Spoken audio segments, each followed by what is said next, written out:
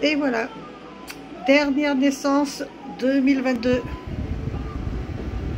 Bonjour Pichoun. Elle a été pondue le 27 juin. On va pouvoir mettre l'incubateur en hibernation, tout désinfecter, tout nettoyer en attendant 2023. Ah, ça va faire drôle hein, de ne pas vérifier au moins six fois par jour les naissances. Hein. On va prendre le temps de sortir.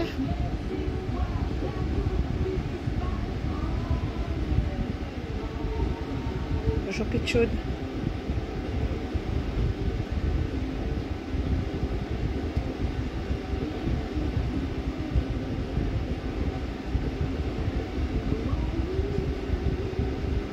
Bon, on va la laisser sortir tranquillement. Allez, plus de naissance. C'est fini. Oh, j'ai eu à peu près plus de 200 naissances cette année. Tous se portent bien. On attend février, mars pour les faire pucer.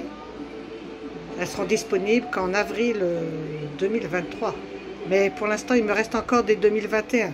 Donc vous avez encore du choix sur les photos vous faites votre demande, je vous envoie les photos, je vous aide à faire votre demande d'autorisation de détention. Et comme ça, vous pouvez l'avoir rapidement parce que fin septembre, il n'y a plus de tortues qui partent de l'élevage. Il faudra attendre avril 2023. Car elles sont en octobre, elles commencent à rentrer en léthargie.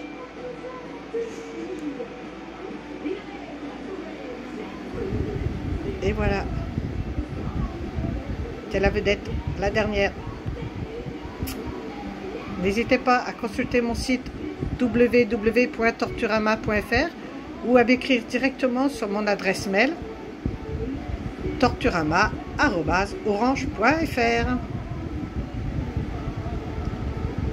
Au revoir